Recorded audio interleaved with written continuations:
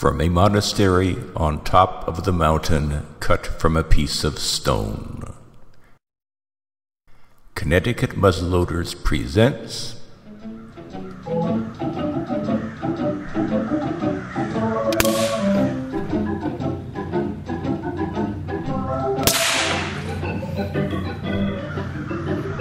Sometimes there's nothing better than sitting in your backyard and plinking away with a 22.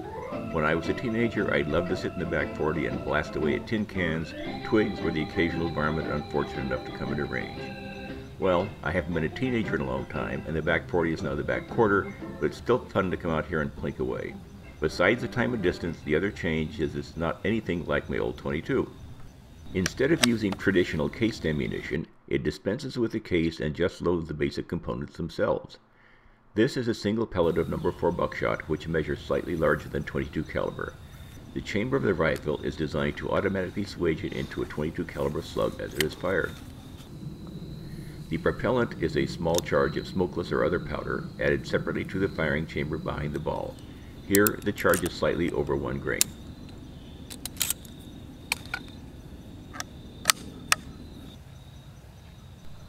and it does one heck of a job.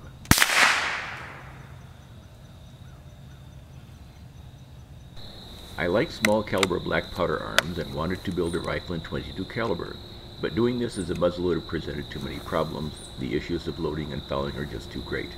A better approach was to use a breech loading design, and to make it even more interesting, I wanted to try a closed electrical ignition system which could take maximum advantage of the tiny powder charge. My first attempt resulted in this black powder rifle. It was fun to build and shoot, but having to use black powder had two disadvantages. First, it fouled after 20 or so shots and lost accuracy. Second, like all black powder arms, it had to be carefully cleaned even if only a single shot was fired. I wanted the new rifle to use smokeless powder, but designing one turned out to be a very long and complicated process with many twists and turns. Part 2 of this video shows how it was designed, built, and assembled. Now, let's take it all apart. Here are all the parts spread out. The barrel and stock are modified from those on a Ruger 1022, and the rest are custom built. Details of how they are built and assembled are shown on the rifle's own web page. Let's put a mark on this board and see what it will do.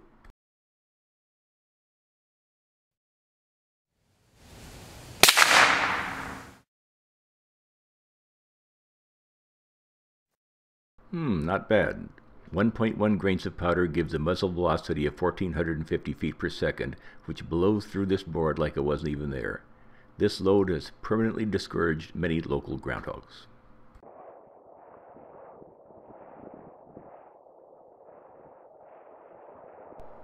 To ensure accurate powder delivery, I built a small powder dispenser whose throw volume can be easily changed.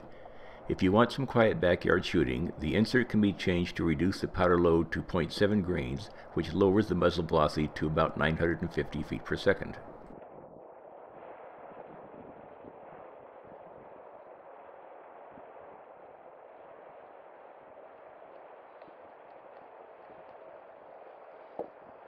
Now, the Plink King sounds about as loud as a pellet rifle. It still has plenty of punch, the bottom hole was the higher power shot, but at lower power the shot still plows through the board.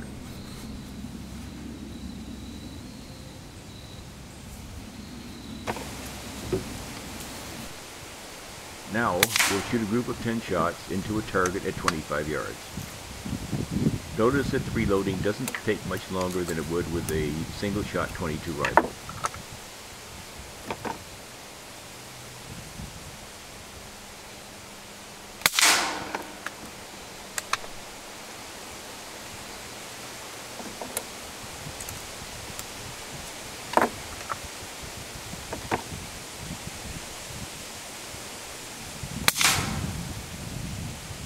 Okay, that's 10 shots. Let's take a look.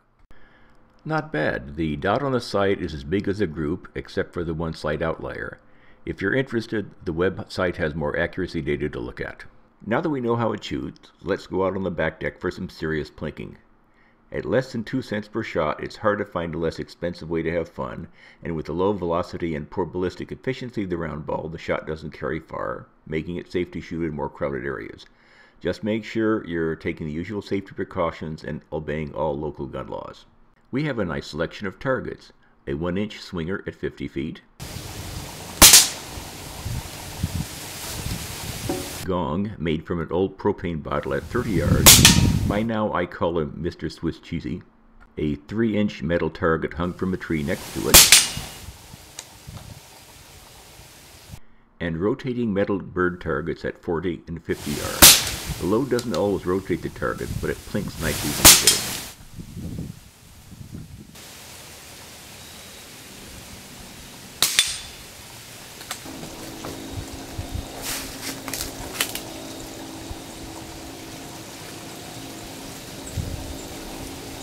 That was fun. Well, it's about time to wrap things up and get on with my next project. So here we are again on a lovely fall afternoon, and what do we have? We have 500 rounds of ammunition, about $7. A rifle to shoot the ammunition, about nine prototypes, two years of computer-aided design and engineering, about $85,000. But a beautiful fall afternoon to shoot it, priceless.